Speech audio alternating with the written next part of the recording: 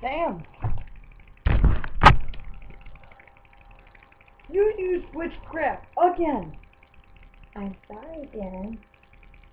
No, you're not. You say that all the time. Darren, it's fine. I can't help myself. Hello, Darla. Mother, don't even think about turning him into anything.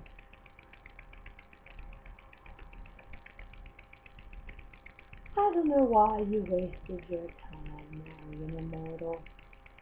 Cause I love him. Whatever. You really meant that.